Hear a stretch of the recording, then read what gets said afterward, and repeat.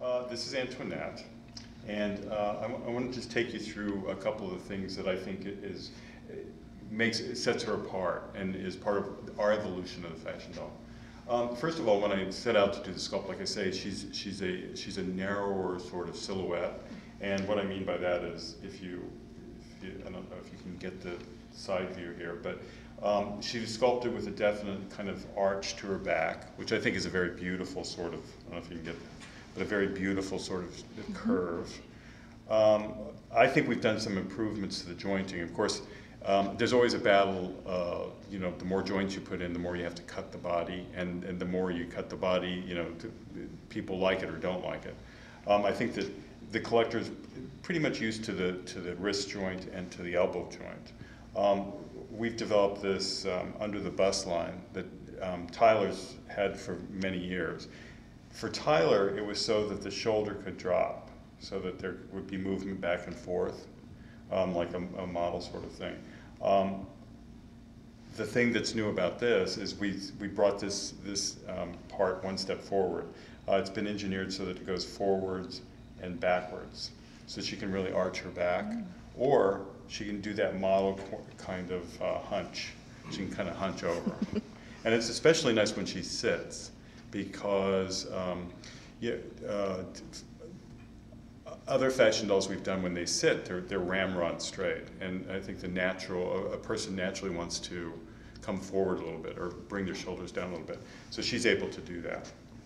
Another thing that we've done is uh, I change where and how I put the hip joints so that uh, when I did Tyler, for instance, pants were at the waist, skirts were at the waist, and now they're not. So you want to you want to show a nice hip bone and a nice stomach.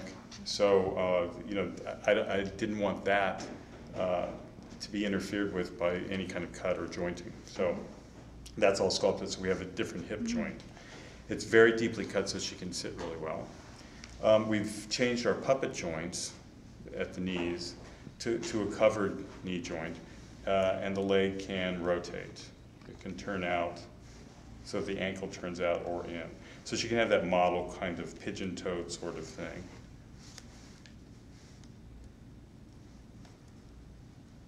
Um, the, the, sculpt, because Antoinette is the muse or the artist's inspiration, uh, I did. I wanted a soft sort of sculpt uh, that that paint could kind of uh, you know change.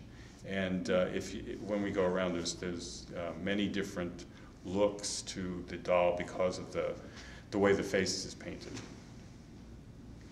And I think that's about it. Oh, uh, skin tone. Again, as I said, that you know she's the artist muse, so the artist sees her as they as they want. So she comes in four different skin tones, and they kind of have cosmetic names. This one, I believe, is Cameo. This is probably 25% lighter than our normal fashion doll skin tone. Uh, we have our normal fashion doll skin tone, which we call Bloom. And we have the slightly darker one, which we call Honey. And then we have the darkest skin tone, which we call Spice, which is kind of a, a beautiful sort of reddish brown. And then you have the basics. These are the basics. Now here we have Antoinette uh, as, as our dress doll. She, we used her as our muse.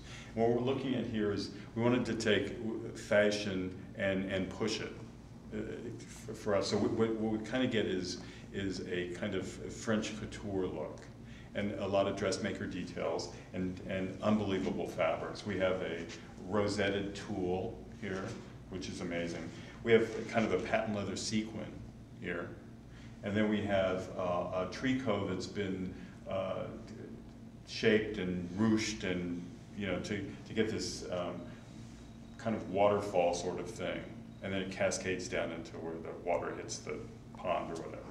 So great fun with that. Feathers, uh, uh accessorized to the hilt.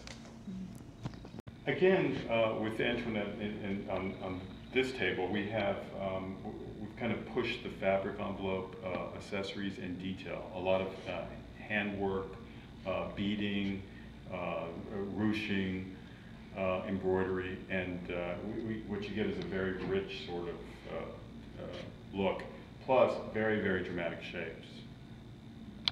I'm excited about the extra outfits. Of course, with a good fashion doll, you have to have extra outfits. And, and what we've done here is um, it- it's all about texture and shape. So you, you get kind of a, uh, a fashiony younger vibe with, with um, all these kind of heavy-duty textures.